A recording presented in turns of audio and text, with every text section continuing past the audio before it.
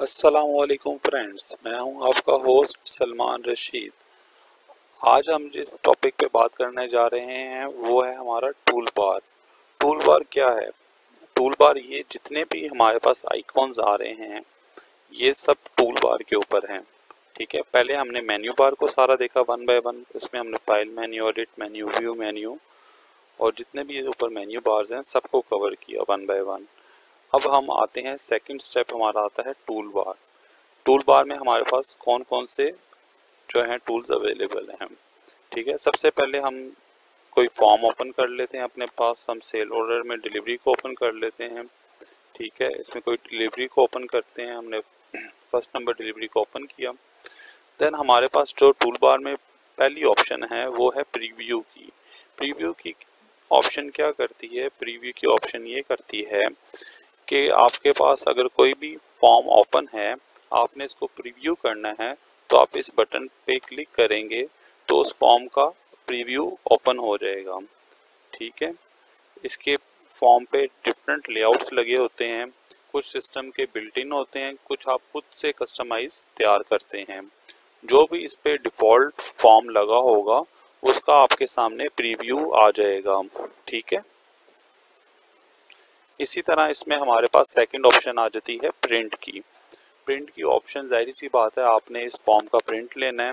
पहले आप इसको प्रीव्यू करेंगे और देन आप इसका प्रिंट लेंगे। ठीक है? प्रिंट की ऑप्शन बेसिकली इस प्रीव्यू का प्रिंट लेने के लिए यूज़ होती है। ठीक है? नेक्स्ट आगे चलते हैं हम। आगे हमारे पास जो ऑप्शन है, वो है ऐसे बिज़नेस वन मेलर की।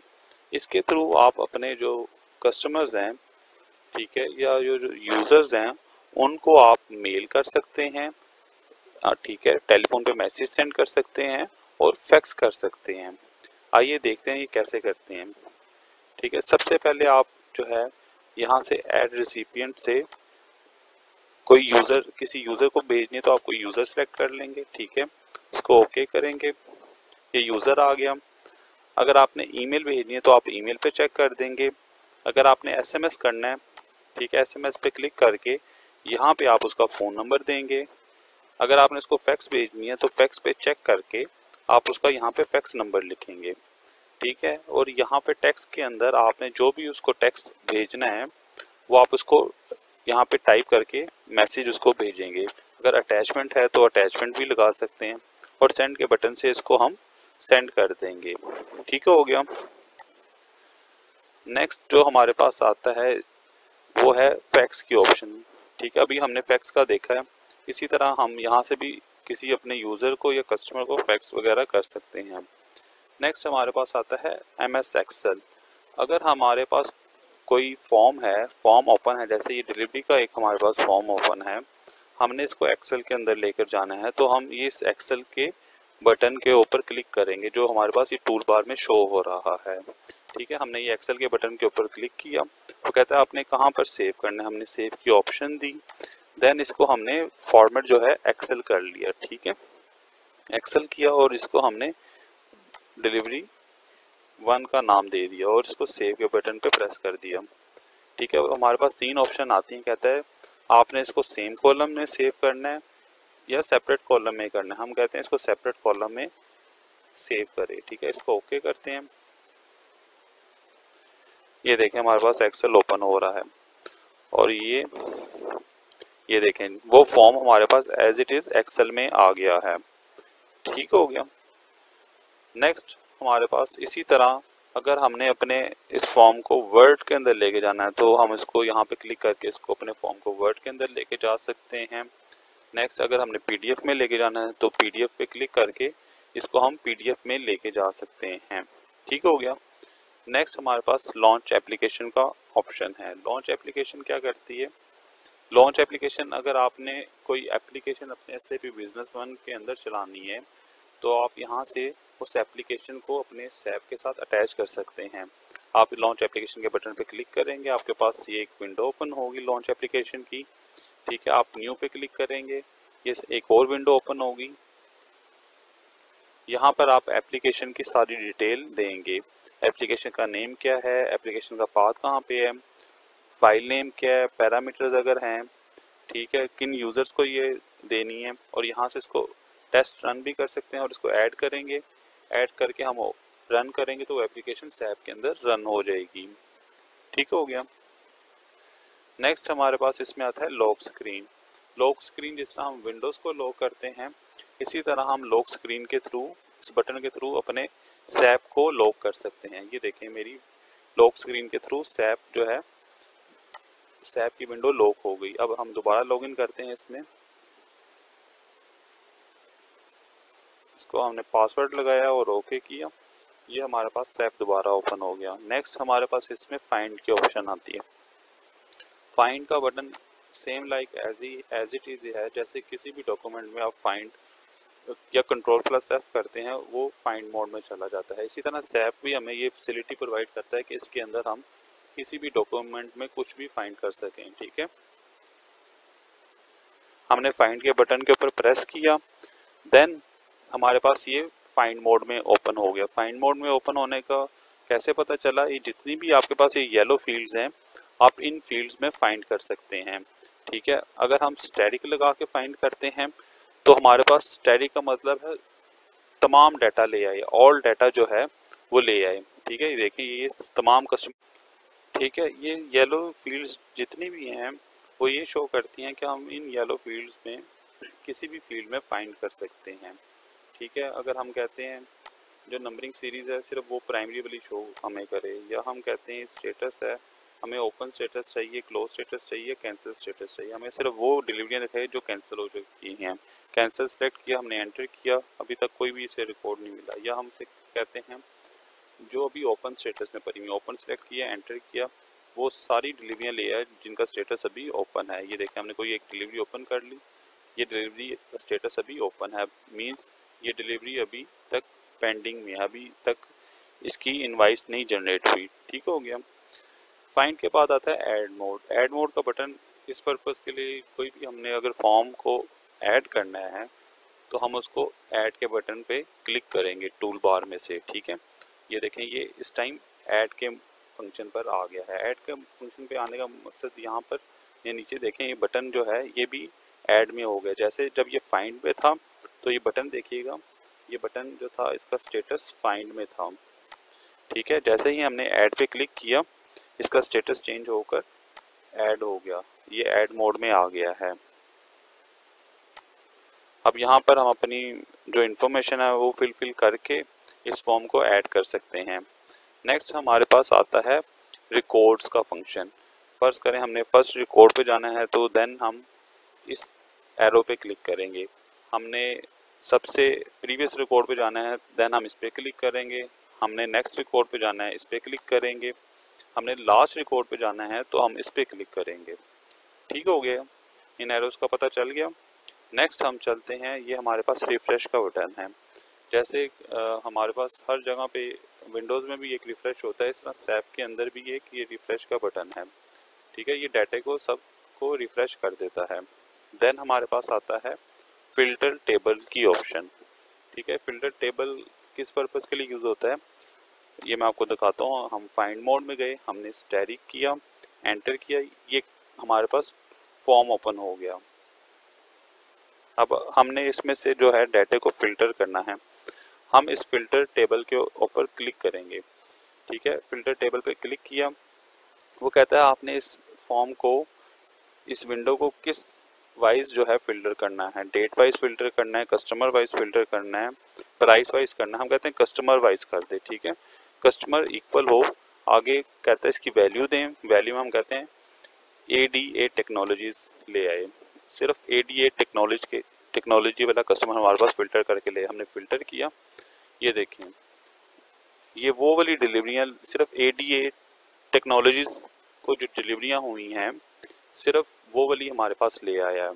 ठीक हो गया। फ़िल्टर हमारे बहुत यूज़ का यूज़ में आता है, क्योंकि इसके थ्रू हम अपने डाटे को इजीली फ़िल्टर कर सकते हैं।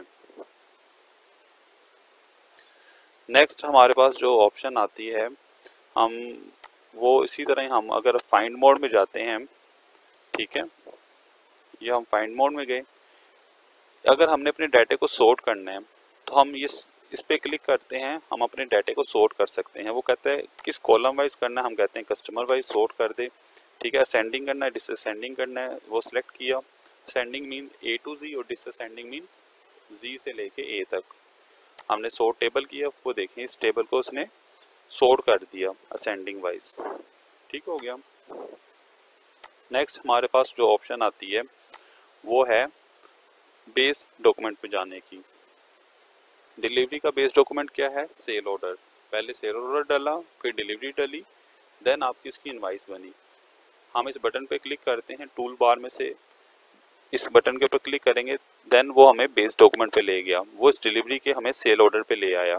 इसी तरह ये देखें, अगला जो ऑप्शन है वो टारगेट डॉक्यूमेंट पे है।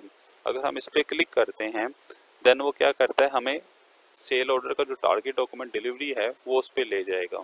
ठीक हो गया? ये भी बहुत यूज़ होने वाले बटन है। नेक्स्ट हमारे पास जो ऑप्शन आती है, वो है ग्रोस प्रॉफिट की। ठीक है? हम कोई फॉर्म ओपन करते हैं अपना। हमने एक, ये डिलीवरी ओपन की। हम ग्रॉस प्रॉफिट के ऊपर क्लिक करते हैं।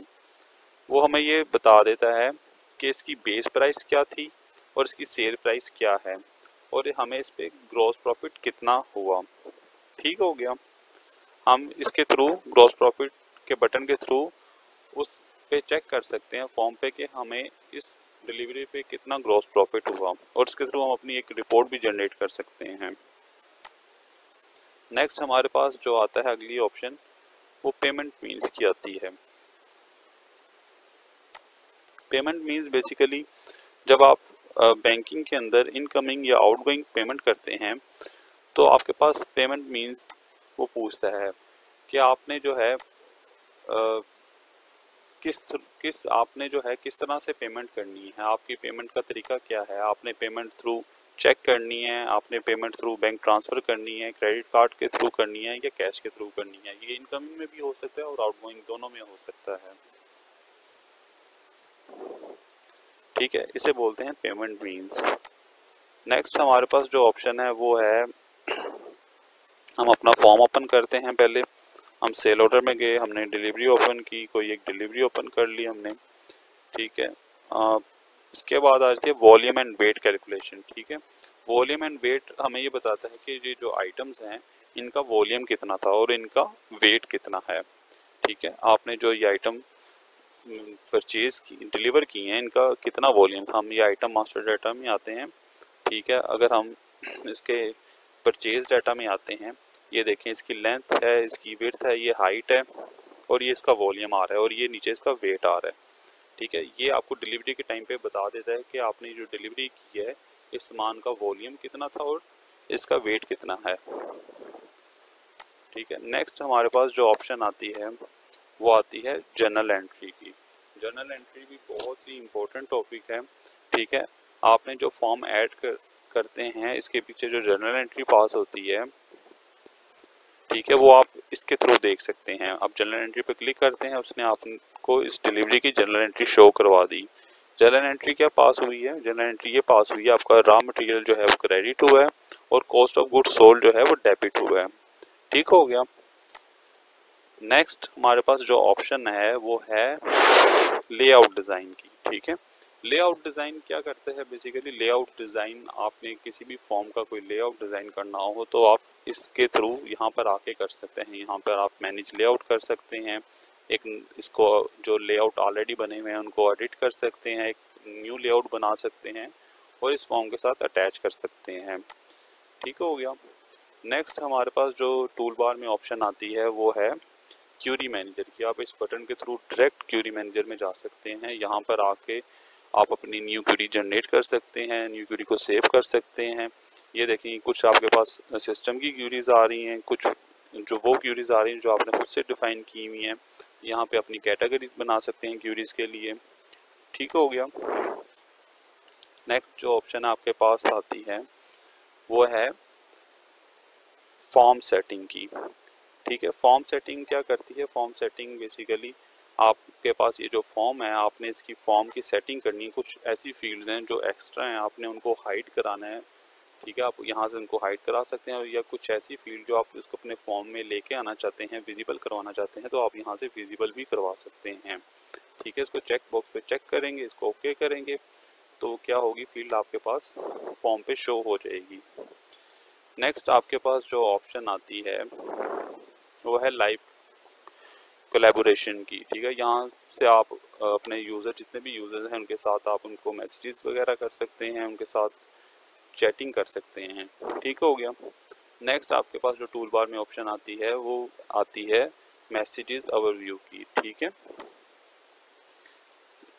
ये बेसिकली एक टास्क लिस्ट ओपन आपके पास हो जाती है। आपके पास जो है कौन कौन से टास्क चल रहे हैं, ठीक है? इनका स्टेटस क्या है? पेंडिंग में कितने हैं कंप्लीट कितने कर दिए और प्रोसेस में आपके पास कितने हैं। ठीक हो गया, ये सारी आपके पास एक वर्क लिस्ट कह लें आपके पास आ रही होती है। नेक्स्ट आपके पास जो आता है, वो ऑप्शन आती है मैसेजेस एंड अलर्ट ओवरव्यू की।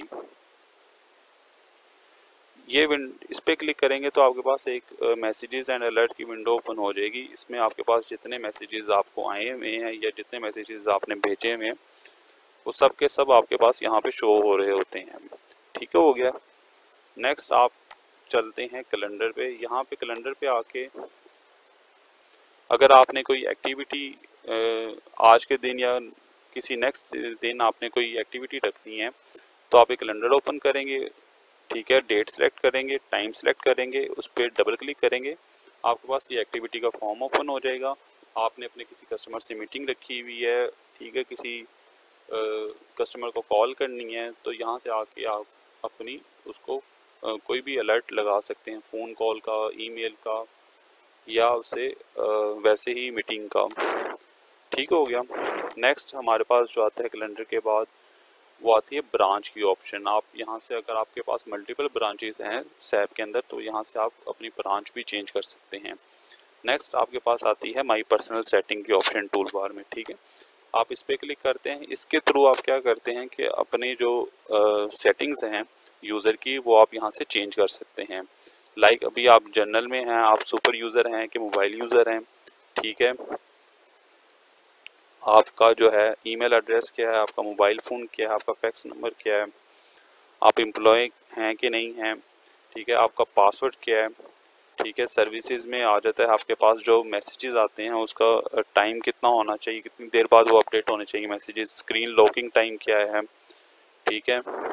देन आपके पास डिस्प्ले का एक टैब है डिस्प्ले के टैब में आपके पास ये आ जाता है कि आपने अपने जो सैप का जो स्टाइल है फ़ॉन्ट साइज़ है, वो कौन सा रखना है, ठीक है? ये सारी सेटिंग्स आप यहाँ से कर सकते हैं। नेक्स्ट जो है, हमारे पास इसमें आती है हेल्प की ऑप्शन इस पर क्लिक करके आप सैफ की जो हेल्प है, वो ले सकते हैं। आज तक के लिए इतना ही। अपने होस्ट सलमान रशीद को इजाज़त दें। इन कल हम एक नई वीडियो के साथ आपके साथ मिलेंगे। अल्लाह हाफिज़।